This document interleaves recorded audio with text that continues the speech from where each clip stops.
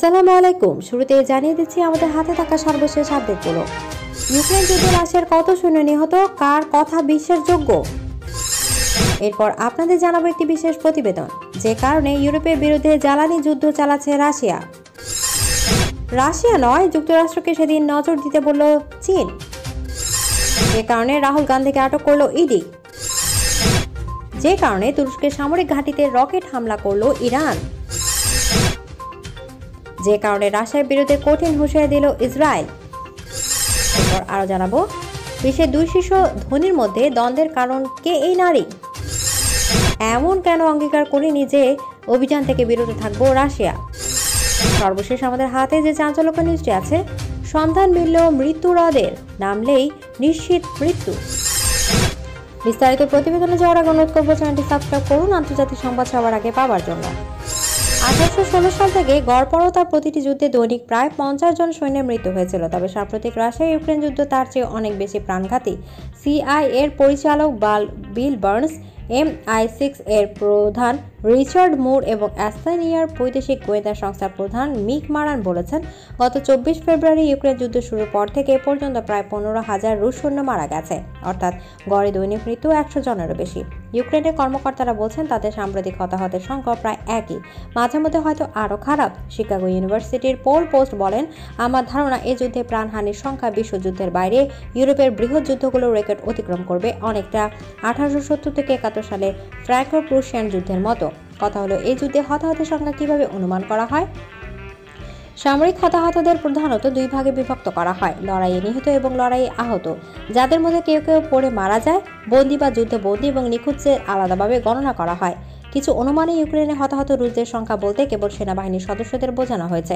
তবে যুদ্ধের ময়দানে রুশদের পক্ষে আরও রয়েছে রোজভার্দিয়া এফএসবি এবং অন্যান্য অসেনা যোদ্ধা, যেমন বিমান বাহিনী, এছাড়া ইউক্রেনের লুহানস্কো দোনেস্কো এলাকার রুশপন্থী অনেক বাসিন্দা মস্কো হয়ে পড়েছে। এদের পাশাপাশি সাম্প্রতিক মাসগুলোতে রাশিয়ার ভাড়াটে খুনিরা কঠিন লড়াইয়ের অবতীর্ণ হয়েছেন। প্রিয় ভালোবাসা দর্শক, ইউক্রেন রাশিয়ার যুদ্ধে আপনি কোন দেশের পক্ষে, আপনার মূল্যবান মতামত কমেন্ট করে জানিয়ে দিন। এদিকে আরেকটি হাত হচ্ছে যে কারণে ইউরোপের বিরুদ্ধে জ্বালানি যুদ্ধ চালাচ্ছে রাশিয়া। ইউক্রেনের প্রেসিডেন্ট ভালাদিমি জেলেন্সকি বলেছেন, ইউরোপের বিরুদ্ধে জ্বালানি যুদ্ধ চালাচ্ছে রাশিয়া। ইউরোপ গ্যাস সরবরাহ কমানোর মানুষের ওপর সন্ত্রাস বলে আখ্যা দিয়েছেন তিনি। মঙ্গলবার বিবিসির এক প্রতিবেদনে বলা হয়েছে, নর্থ স্ট্রিম এক পাইপলাইনের একটি টারবাইন কাজ করার জন্য জার্মানিতে গ্যাস সরবরাহ কমানোর ঘোষণা দিয়েছে রাশিয়ার জ্বালানি খাতের প্রতিষ্ঠান গ্যাস প্রোমো এটিকে ইউরোপের বিরুদ্ধে রাশিয়ার গ্যাস ব্ল্যাকমেল বলে মন্তব্য করেছেন ভালাদিমির জেলেন্সকি। জেলেন্সকি বলেন, প্রতি মাস আসছে আর অবস্থা ক্রমাগত খারাপ হচ্ছে। সন্ত্রাসী রাষ্ট্রটির লক্ষ্য ইউরোপীয়দের জীবন আরও খারাপ করা। শীত সামনে রেখে উদ্দেশ্য প্রণোদিতভাবে গ্যাস সরবরাহ কমানো হয়েছে। সোমবার গ্যাসপ্রম জানায়, রক্ষণাবেক্ষণের কাজের জন্য টারবাইন বন্ধ হলে গ্যাস উৎপাদন কমে আসবে। এতে সরবরাহ অর্ধেকে নামিয়ে আনতে হবে। জার্মান সরকার জানায়, সরবরাহ অর্ধেকে নামিয়ে আনার কোনো প্রযুক্তিগত কারণ নেই। জার্মানির অর্থ মন্ত্রণালয়ের পক্ষ থেকে এক বিবৃতিতে বলা হয়েছে, বিষয়টি গভীরভাবে পর্যবেক্ষণ করা হচ্ছে। আমাদের কাছে এখনও পর্যন্ত যে তথ্য আছে, সে অনুযায়ী সরবরাহ অর্ধেকে নামিয়ে আনার কোনো প্রযুক্তিগত কারণ নেই। এদিকে আরেকটি হট নিউজ হচ্ছে রাশিয়া নয়, যুক্তরাষ্ট্রকে যেদিকে নজর দিতে বলল চীন। রাশিয়াকে সন্ত্রাসবাদের তকমা না দিয়ে যুক্তরাষ্ট্রকে অন্যদিকে নজর দিতে বলেছে চীন। রাশিয়ার সংবাদ মাধ্যম তার সোমবার এক প্রতিবেদনে তথ্য জানিয়েছে।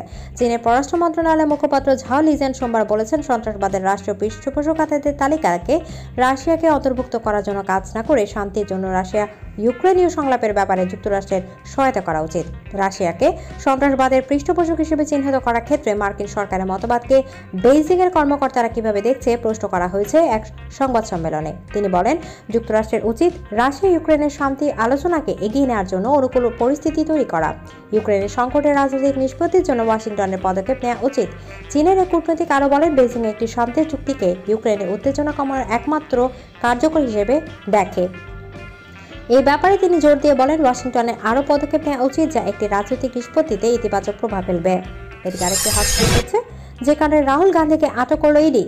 রাহুল গান্ধী প্রতিবাদ জানানোর এক পর্যায়ে রাস্তায় বসে পড়েছেন। পুলিশ তাকে ঘিরে রেখেছে। এনডিটিভি জানিয়েছে, এক পর্যায়ে রাহুল গান্ধীকে আটক করা হয়েছে। আটকের আগে রাহুল গান্ধী বলেছেন, ভারত একটি পুলিশের রাষ্ট্র। মোদী হলেন রাজা। জানা গেছে, ন্যাশনাল হেরাল্ড মামলায় টাকা নয়, ছয়ের অভিযোগে কংগ্রেস সভানেত্রী সোনিয়া গান্ধী আজ মঙ্গলবার ইডি দপ্তরে হাজির হন। তার সঙ্গে ছিলেন প্রিয়াঙ্কা গান্ধী ও রাহুল গান্ধী। বেলা এগারোটা নাগাদ নয়াদিল্লির ইডি দপ্তরে তিনি পৌঁছান। এর আগে গত একুশ জুলাই তিনি ইডি দপ্তরে হাজিরা দেন। আজ দ্বিতীয় দফা জিজ্ঞাসাবাদের জন্য তাকে তলব করেছে ইডি। এর মধ্যে দিল্লি পুলিশ রাজঘাটে একশো চুয়াল্লিশ ধারা জারি করেছে। কংগ্রেস কার্যালয়ের সামনে কর্মী সমর্থকরা বিক্ষোভ কর্মসূচি করে। আজ সকাল থেকে কংগ্রেসের প্রধান কার্যালয়ের সামনে সর্বভারতীয় মহিলা কংগ্রেসের কর্মীরা ইডি জিজ্ঞাসাবাদের প্রতিবাদে প্ল্যাকার্ড ও কালো বেলুন উড়িয়ে প্রতিবাদ দেখান। অন্যদিকে কংগ্রেসের সাংসদরা সাংসদ চত্বরে গান্ধী মূর্তি থেকে বিজয় চকের দিকে প্রতিবাদ মিছিল করেন। এই প্রতিবাদ মিছিল অংশ নেন রাহুল গান্ধীও। এদিকে আরেকটি হাত হচ্ছে যে কারণে তুরস্কের সামরিক ঘাঁটিতে রকেট হামলা শুরু করল ইরান। ইরাকের উত্তরাঞ্চলে অবস্থিত তুরস্কের একটি সামরিক ঘাঁটিতে রকেট হামলা হয়েছে। ইরাকে আধা স্বায়ত্তশাসিত কুর্দিস্তান অঞ্চলে তুরস্ক ব্যাপক হামলা চালানোর কয়েকদিন পর গতকাল সন্ধ্যায় তুর্কি সামরিক ঘাঁটিতে রকেট হামলা হলো। একটি সূত্র সাফাক নিউজ এজেন্সিকে জানিয়েছে বাসিকা এলাকার জেলিকান ক্যাম্পের কাছে পড়ে। নিরাপত্তা সূত্রের তথ্য মতো, রকেট হামলায় কোনো হতাহতের ঘটনা ঘটেনি। গত কয়েকদিনের মধ্যে এই নিয়ে তুর্কি ঘাঁটিতে দুই দফা রকেট হামলা হলো। সারাইয়া আউলিয়া আদ দাম নামে একটি সংগঠন ওই হামলা দায় স্বীকার করেছে। এজন্য তারা একটি ভিডিও বার্তা প্রকাশ করে। সংগঠনটি বলেছে, তারা হামলায় একশো বাইশ এম এম গ্রাদ রকেট ব্যবহার করেছে। সংগঠনটি হুঁশিয়ারি উচ্চারণ করে বলেছে, তারা তুরস্কের ভেতরে যুদ্ধ টেনে নিয়ে যাবে। এটি আরেকটি হাত নিয়ে যাচ্ছে। যে কারণে রাশিয়ার বিরুদ্ধে কঠিন হুঁশিয়ারি দিল ইসরায়েল। রাশিয়া একটি ইহুদি সংস্থা বন্ধের জন্য মস্কো এবং তেল আবিবের মধ্যকার দ্বিপক্ষীয় সম্পর্কে মারাত্মক প্রভাব পড়বে বলে হুঁশিয়ারি দিয়েছেন ইসরায়েলের অন্তর্বর্তী প্রধানমন্ত্রী ইয়ার লাপিদ রোববার ইসরায়েলের প্রধানমন্ত্রী দপ্তর থেকে প্রকাশিত বিবৃতিতে হুঁশিয়ারি দিয়েছেন তিনি। টাইমস অফ ইসরায়েলের এক প্রতিবেদনে বলা হয়েছে প্রতি স্থানীয় আইন লঙ্ঘনের কারণে ইহুদিবাদী সংস্থাটিকে রাশিয়ার আইন মন্ত্রণালয় বন্ধ করে দেয়। সংস্থাটি রাশিয়ার ইহুদি সম্প্রদায়ের লোকজনকে অভিবাসী হিসেবে ইসরায়েলে যাওয়ার বিষয়ে উৎসাহিত করে থাকেন। প্রধানমন্ত্রী লাপিদ বলেন, রাশিয়ার সঙ্গে সম্পর্কে ইসরায়েলের কাছে গুরুত্বপূর্ণ। রাশিয়া ইহুদি সম্প্রদায় গুরুত্বপূর্ণ অবদান রেখে আসছে প্রতিটি কূটনৈতিক আলোচনায় মস্কোর সঙ্গে বিষয়টি আলোচিত হয়ে থাকে। প্রতিবেদনে আরও বলা হয়েছে, চলতি সপ্তাহে গোড়ার দিকে মস্কোর একটি আদালতে বলেছিলেন, তারা আইন মন্ত্রণালয় থেকে একটি অনুরোধ পেয়েছে, যাতে বলা হয়েছে রাশিয়া ইসরায়েলের এই সংস্থাটি বন্ধ করা দরকার। ইসরায়েলের এই সংস্থাটির বিরুদ্ধে মূল অভিযোগ কি, সেটি বিষয় প্রকাশ করা হয়নি। তবে ইসরায়েলি গণমাধ্যম জানিয়েছে, সংস্থাটি চলতি মাসের প্রথম দিকে রাশিয়ার আইন মন্ত্রণালয় থেকে সতর্কবার্তা পেয়েছিল। তারা তথ্য সংগ্রহ ও সংরক্ষণের ক্ষেত্রে আইন লঙ্ঘন করেছে। বিষয়টি নিয়ে আদালতে শুনানির আগে ইসরায়েলের এই ইহুদি সংস্থাটি বন্ধ করে দেওয়া হয়। বিষয়টি নিয়ে বৃহস্পতিবার আদালতে শুনানির কথা ছিল। এদিকে আরেকটি যাচ্ছে বিশ্বের দুই শীর্ষ ধনির মধ্যে দ্বন্দ্বের কারণ কে? এই নারী। চলতি সপ্তাহে হঠাৎ করে আলোচনায় উঠে এসেছেন সিলিকন ভ্যালির উদ্যোক্তা ও সমাজসেবক নিকুল সানাহান। কারণটা অবশ্য সুখকর নয়। বিশ্বের দুই শীর্ষ ধনী ইলন মাস্ক ও সার্গে ব্রিনের মধ্যে দ্বন্দ্বের কারণ হিসেবে উচ্চারিত হচ্ছে তার নাম। বছর তিনেক আগে গুগলের সহ প্রতিষ্ঠাতা ব্রেনকে বিয়ে করেছিলেন শাহরাহান। কিন্তু গত জুনে অমীমাংসাযোগ্য মত পার্থক্যের কারণে বিচ্ছেদের আবেদন করেন তারা। এ সপ্তাহে দ্য ওয়ার্ল্ড স্ট্রিট জার্নাল দাবি করেছেন, টেস্টার প্রতিষ্ঠাতা ইলন মাস্কের সঙ্গে পরকীয় সম্পর্কে জড়িয়ে পড়েছিলেন সানাহান এ কারণে ব্রিনের সঙ্গে বিচ্ছেদ, বিষয়টি নিয়ে দুই ধন কুবেরের মধ্যে দ্বন্দ্ব দেখা দিয়েছে।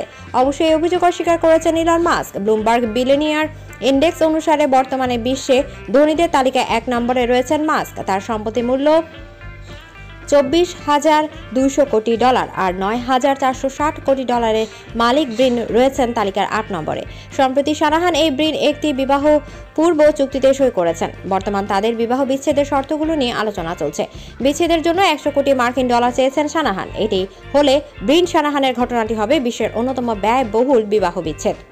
এদিকে আরেকটি হট এমন কোনো অস্বীকার করিনি যে অভিযান থেকে বিরত থাকব রাশিয়া। কৃষ্ণসাগর বন্দর দিয়ে ইউক্রেনের শস্য রপ্তানিতে কোনো বাধা নেই বলে নিজেদের অবস্থান স্পষ্ট করেছে রাশিয়া। একই সঙ্গে বন্দরে ইউক্রেনের একটি সামরিক স্থাপনা লক্ষ্য করে ওই ক্ষেপণাস্ত্র হামলা চালানো হয় বলে দাবি করেন রুশ পররাষ্ট্রমন্ত্রী সের্গে ল্যাভরভ ওডেসা বন্দরে রুশ ক্ষেপণাস্ত্র হামলার পর চুক্তি অনুযায়ী শস্য রপ্তানি নিয়ে অনিশ্চয়তা দেখা দিলে একথা জানায় মস্কো। এর মধ্যে বন্দরে হামলা তীব্র নিন্দা জানিয়ে শিগগিরই কৃষ্ণসাগর দিয়ে শস্য রপ্তানি শুরু হবে বলে আশা প্রকাশ করেছে জাতিসংঘ। খবর আল জাজিরার। বৈশ্বিক খাদ্য সংকট মোকাবেলায় কৃষ্ণ সাগর দিয়ে শস্য রপ্তানিতে গেল শুক্রবার ঐতিহাসিক চুক্তিতে সই করে রাশিয়া ও ইউক্রেন।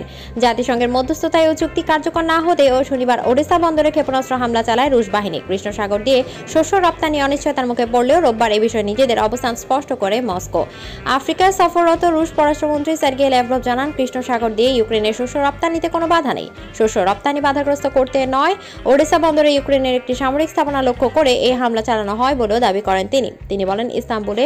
শস্য রপ্তানি নিয়ে যে চুক্তিতে আমরা সই করেছি, সেখানে আমরা এমন কোনো অস্বীকার, অঙ্গীকার করিনি যে আমাদের অভিযান পরিচালনা থেকে বিরত থাকব। বন্দরে ইউক্রেনের সেনাদের অবস্থান ও সামরিক স্থাপনা লক্ষ্য করে এই হামলা চালানো হয়েছে। এদিকে আরেকটি হট সন্ধান মিলল মৃত্যুরদের নামলেই নিশ্চিত মৃত্যু।